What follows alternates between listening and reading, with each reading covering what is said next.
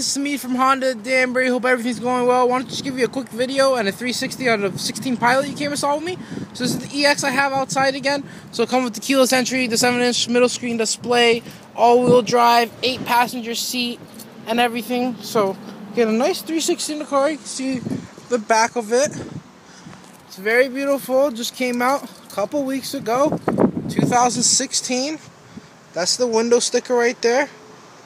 See a good look of it too.